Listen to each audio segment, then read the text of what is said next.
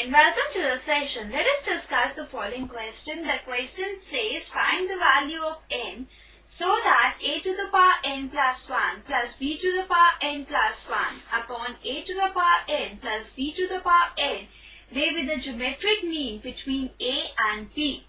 Before solving this question, we should know that geometric mean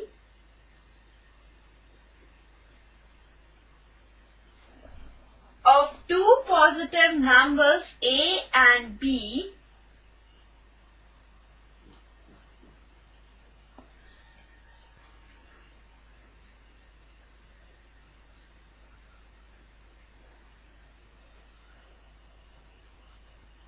is the number square root of AB.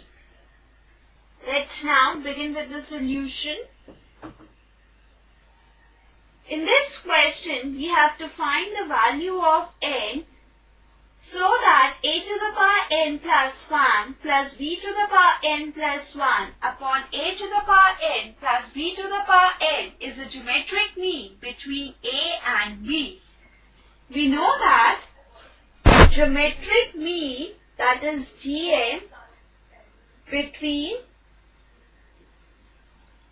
A and B is square root of AB since we have to find n so that a to the power n plus 1 plus b to the power n plus 1 upon a to the power n plus b to the power n is a geometric mean between a and b. Therefore,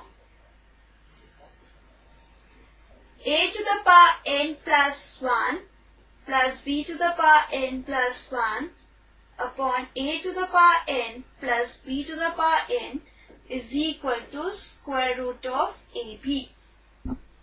Now this implies a to the power n plus 1 plus b to the power n plus 1 upon a to the power n plus b to the power n is equal to a to the power 1 by 2 into b to the power 1 by 2. On cross multiplying, we get a to the power n plus 1 plus b to the power n plus 1 is equal to a to the power 1 by 2 into b to the power 1 by 2 into a to the power n plus b to the power n. And this implies a to the power n plus 1 plus b to the power n plus 1 is equal to a to the power n plus 1 by 2 into b to the power 1 by 2 plus a to the power 1 by 2 into b to the power n plus 1 by 2. And this implies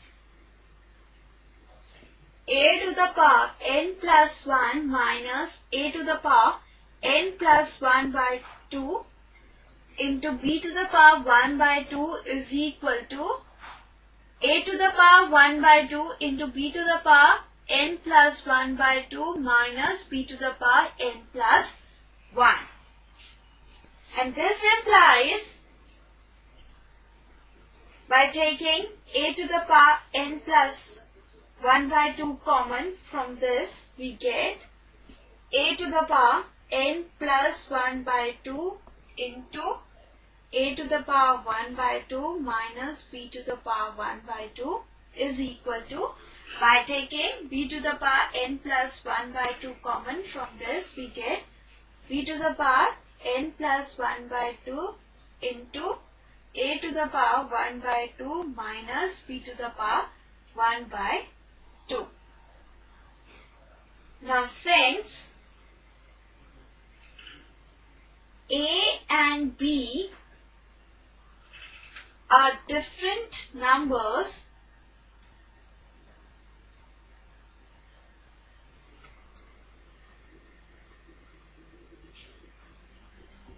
Therefore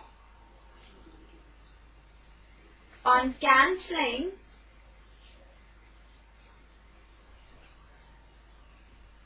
a to the power 1 by 2 minus b to the power 1 by 2 from both sides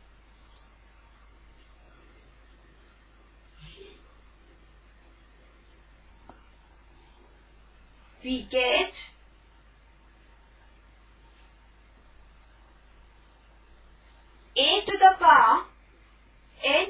plus 1 by 2 is equal to b to the power n plus 1 by 2. Now this implies